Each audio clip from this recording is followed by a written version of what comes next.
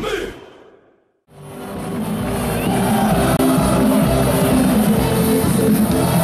W karierze ekstraklasowej 12 spotkań z Legią Warszawa do tej pory.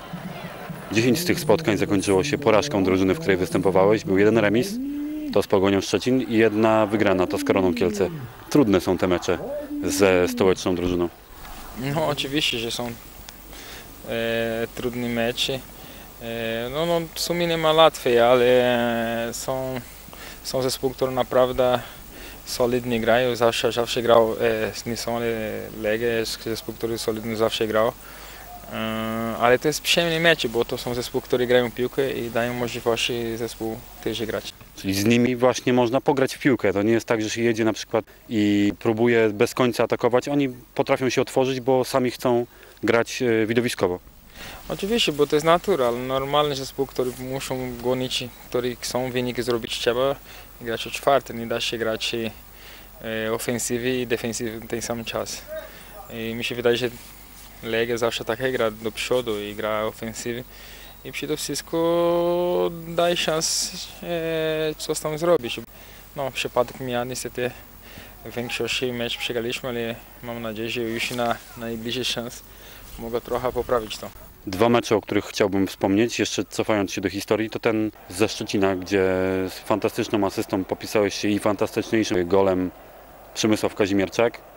To taki remis po naprawdę fajnym widowisku, więc fajnie chyba się wspomina te mecze z Legią. Wszystkie mecze, które dał jakiś bramka tam musieliście, akurat ten, ten mecz, który 2-2 skończył, ja miał dwa asysta, Jedni był dla świętopamiętnych Klaudio Miller, jeżeli nie będę się pomylił, a drugi dla, dla Każ.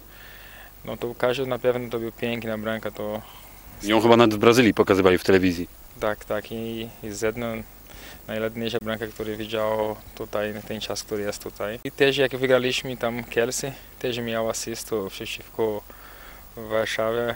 E, Korona wygraliśmy 1-0 go Grzegorz Bolin.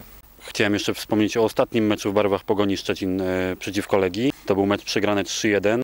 Brazylijskim składem wtedy wyszła Pogoń. Nawet w bramce dość niespodziewanie stanął Gu, a nie Radosław Majdan, który wtedy był stałym bramkarzem Pogoni Szczecin.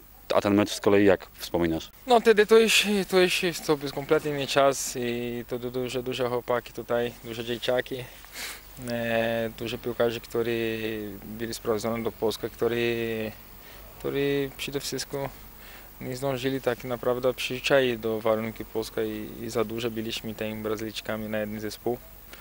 I na pewno to, to był ciężka, ciężki okres i, i nie mam dużo co pamiętać ten czas, bo osobiście mnie to nie był przyjemny czas. W Polsce jest taki przesąd, że trzynastka to nie jest zbyt szczęśliwy numer, a wychodzi na to, że jeżeli zagrasz na Legii, to będzie to trzynasty występ w Ekstraklasie przeciwko Legii Warszawa. Nie boisz się liczb? Może 13 i przeciwko, może, może będzie pecha dla, Le, dla Legia, nie dla nas. Nie, nie boję się i nie myśli o tym. I na pewno w Brazylii też to samo jest, że 13 nie jest jakiś tam ma dobre znaczenie tego numeru 13, ale ja osobiście nie mam nic z tym. Każdy punkt na Legii będzie cenny. Powalczymy o niego. Oczywiście to są szacunek, ale zespół nasz zaczynał już powoli lepiej prezentować. E, no wiadomo, że to będzie bardzo trudne spotkanie, ale na pewno przejdziemy z pokory i z dużo serduchu, z duża walka i, i, będziemy starać się na maksa zdobyć jakiś punkt. Do przodu. Do przodu, do przodu.